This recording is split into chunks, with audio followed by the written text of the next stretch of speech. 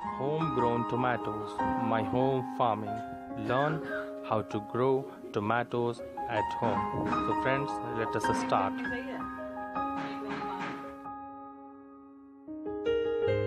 Hello, friends. Today I'm going to share with you all my experience with home farming. The best time to set out tomato plant is after the danger of frost, which is usually any time in April, May, or early June. Tomato is a warm season withstand frost, fogs, so you should keep it in. Uh, you should keep it uh, under the shelter at cold, foggy nights. Seed germination takes two weeks. Seedling grow also it takes the two weeks. pH should be maintained 5.5 to 6.8. So it is preferred if you'll add uh, Epsom salt, organic manures like fertilizers, and you can add eggshells directly, banana peels directly to the soil. Calcium availability and nutrition, uh, you know, it's, it's very important for your tomato plant.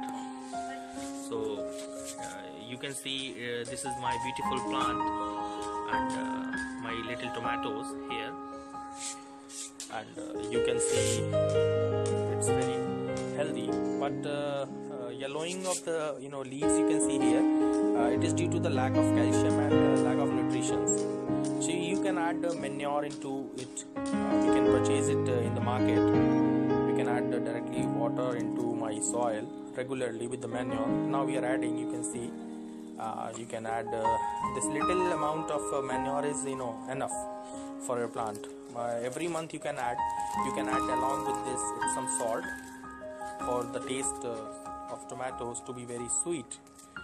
And uh, uh, you should regularly water your plant you can see here. And uh, uh, you can also do the self pollination by just uh, taking any you know flower pod and you can touch it with other you know flowers. So this is called self pollination you can use any brush also.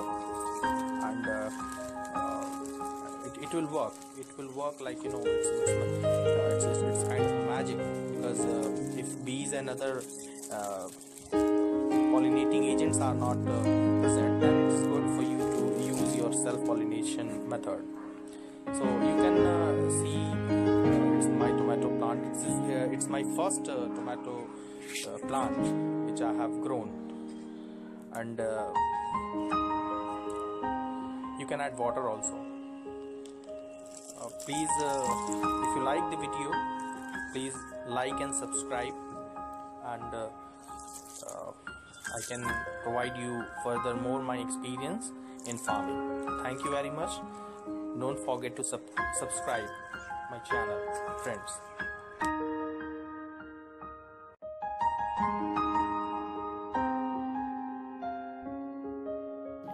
This is the result after 3 months. You can see my tomatoes are very healthy and now changing their colors.